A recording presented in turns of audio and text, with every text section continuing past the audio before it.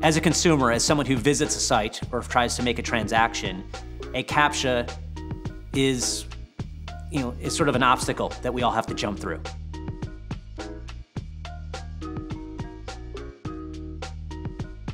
It's not fun, especially when you have to click on you know, all of the traffic lights or you have to click on all of the buses that you see in all the photos and you can't seem to get all of them because they just keep reappearing.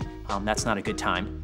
But really what those are put in place for are, there are very sophisticated you know, bots out there that are used by criminals that try to, say, log into a website over and over and over again, try different types of credentials, try different usernames, try different passwords.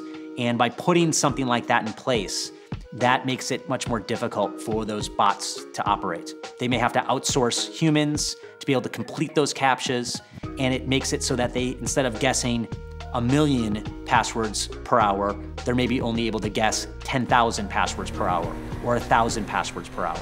It just really, really puts speed bumps in place for the attackers that are utilizing automated attacks against various sites.